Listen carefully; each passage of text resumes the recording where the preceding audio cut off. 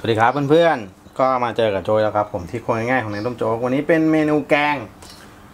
ปลาดุกนี่นะครับ ก็คัดเอาแต่ส่วนที่เนื้อมาหากับหัววันนี้ไม่ได้เอา เพราะว่ามันค่อนข้างเล็ก ก็หนึ่งตัวครับ ตัวใหญ่หน่อย ก็เลยเอาคัดแต่เนื้อมานะครับ แกงปลาดุกใส่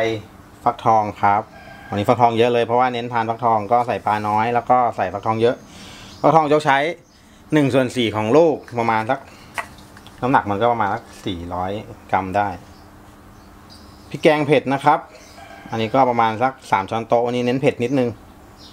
เพราะว่ามันเป็นแกงแบบไม่ใช้กะทิ ฉะนั้นมันก็อยากเผ็ดเผ็ดร้อนๆนะ พริกชี้ฟ้าแดงหนึ่งเม็ดใหญ่ๆกะเพราหนึ่งถ้วยเป็นกะเพราแดงนะครับโจเอาเขาเรียกอะไรดอกมันมาด้วย เพิ่มความหอมฉุนนะครับปรุงรสวันนี้ก็จะมีน้ำปลาแล้วก็น้ำตาลปี๊บนิดหน่อย เพราะว่า ในฟักทองเนี่ยมันมีรสหวานหอมอยู่แล้ว แล้วก็พริกแกงมีกะปิอยู่แล้วก็เดี๋ยวเราเริ่มเลยดีกว่าจะได้ไม่เสียเวลาครับ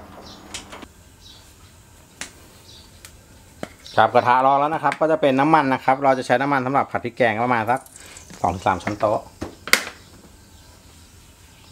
ก็เดี๋ยวตั้งไฟให้ร้อนสักนิดนึงครับตบแก๊สที่นี่ค่อนข้างแรง วันนี้เสียงบรรยากาศจะค่อนข้างเยอะนิดนึง ก็นี่ครับพริกแกงใส่ลงไปเลยครับ เดี๋ยวเราจะผัดพริกแกงจนหอมก่อน มันจะหยาดนิดนึงนะครับ ถ้าโจ๊กโขกโขกเองจะเป็นแบบนี้ บางทีเหนื่อยๆก็เอาประมาณนี้แหละ ก็สูตรพริกแกงเดี๋ยวยังไงโจ๊กวางลิงก์ไว้ให้ข้างล่างนะครับ ละเอียดยิบแน่นอน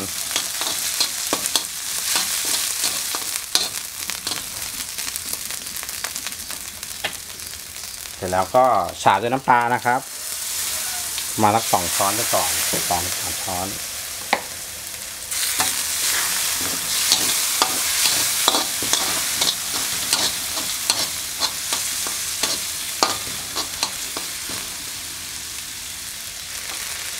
เสร็จแล้วก็น้ำตาลปี๊บนะครับ ประมาณ ช้อนชาก็พอครับ เพราะว่ามัน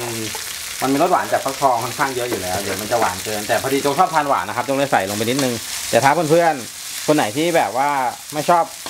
รสหวานเลยก็ไม่ต้องใส่นะครับ เพราะว่าฟักทองก็ค่อนข้างจะหวานในเนื้อมันอยู่แล้ว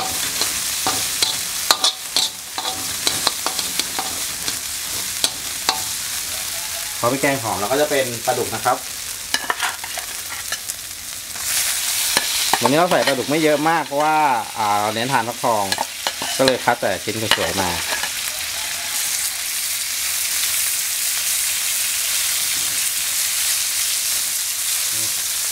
เราจะผัดปลาดุกปลาดุกกับน้ำมันพวกนี้สักครู่นึงก่อน เราจะยังไม่ใส่น้ำนะครับ ให้มันหอมให้มันมีความเกรียมของพริกแกงลงไปนิดนึงก่อน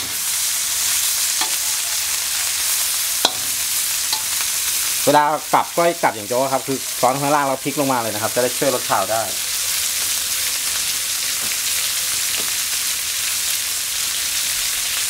เสร็จแล้วก็หยอดน้ำนะครับพอพริกแกงเริ่มเกรียม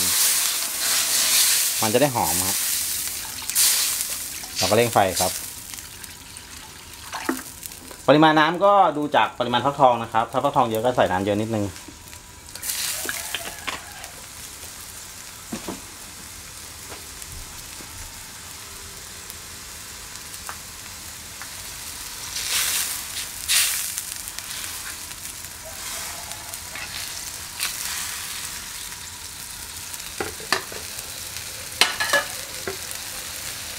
พอปลาดุกเริ่มเปลี่ยนสีนะครับเพื่อนๆจะเห็นลักษณะแบบนี้คือมันจะเริ่มจะสุกเนี่ยเราจะใส่ฟักทองลงไปเลยเพราะว่าเดี๋ยววันนี้เราต้องเคี่ยวฟักทองจนสุกด้วยเพราะฉะนั้นจะรีบใส่นิดนึงถ้าเป็นเมนูนี้นะครับที่ต้องเลือกใช้ปลาดุกเพราะว่าเนื้อปลาดุกมันค่อนข้างจะแข็งและแน่นเวลาที่เอามาทำอาหารนะฮะมันเละยากกว่าปลาอื่นแหละถ้าเป็นปลาช่อนหรือปลานิลอะไรอย่างเงี้ยครับมันก็ใช้ได้เหมือนกันแต่กลิ่นเฉพาะตัวของปลาดุกมันจะทำให้เมนูนี้อ่ามันมันถึงเครื่องมันกลมกล่อม แล้วก็อ่าเนื้อปลาที่มันค่อนข้าง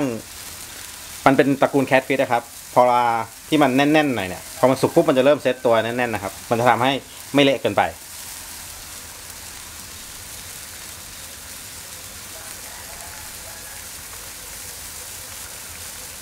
เดี๋ยวตรงนี้ก็โจ๊กขอเคี่ยวให้ฟักทองมันสุกสักครู่แล้วกันครับ เดี๋ยวเพื่อนๆมาดูตอนที่มันสุกแล้วดีกว่าจะได้ไม่เสียเวลาครับ โอเคครับเพื่อนๆตอนนี้ฟักทองสุกละปลาก็สุกแล้วนะครับ ฟักทองสุกเช็คยังไงเวลาเราทำอาหารประมาณนี้ก็เนี่ยครับ ลองเพื่อนๆลองเอาเนี่ยครับตะหลิวกดลงไปปึ๊บโอเคสุกเพราะว่าเดี๋ยวมันจะคล้ายๆพวกเผือกพวกมันนะครับ มันจะมีความละอุหลังจากที่เราปิดไฟไปแล้วอีกพักหนึ่งปลาก็สุกแล้วนะครับ หลังจากนี้จุ๊จะใส่พริกชี้ฟ้าแดงนะครับ เพิ่มสีสันแล้วก็กลิ่นหอมใส่ลงไปเลยครับแล้วก็เดี๋ยวให้มันโดนความร้อนสักนิดนึงมันจะเริ่มหอมนะครับ น้ำมันจะงวดลงมาเหลือประมาณพอดีพอดีอย่างเงี้ยครับครับแล้วก็ตามด้วยใบกะเพราแบบหนาๆใส่เยอะๆเข้าใบกะเพราหอม แล้วก็อร่อยฉุน แก้ท้องอืดได้ครับสรรพคุณของใบกะเพรานี่นะครับแล้วเราก็ผัดให้ใบกะเพราสลดนิดนึง ให้มันสุกด้วยฮะ มีหลายท่านไม่ค่อยชอบกลิ่นของใบกะเพราที่ยังไม่สุกดี น้ำไม่เยอะนะครับ มันจะคลุกคลิกคลุกคลิกนิดนึง เอาน้ำไปคลุกข้าวอย่างเดียวหน้าตามจะออกมาประมาณนี้ใบกะเพราเยอะ หอมหอมๆชุนๆเลยครับ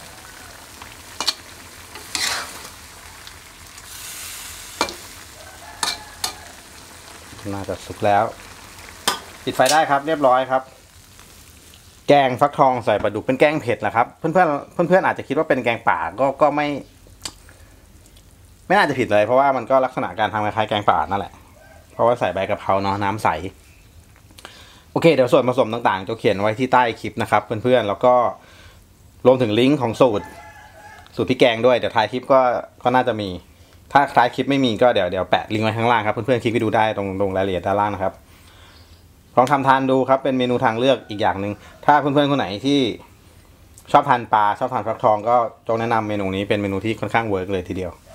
ยังไงเดี๋ยวเจอกันครับผมอย่าลืมกดไลค์กดแชร์กดติดตามกด subscribe ช่องให้โจ๊กด้วยนะครับ จะได้เจอเมนูแบบนี้ง่าย ๆ แบบนี้บ่อยๆครับผมสำหรับวันนี้ขอบคุณมากครับบ๊ายบายครับแล้วเจอกันครับ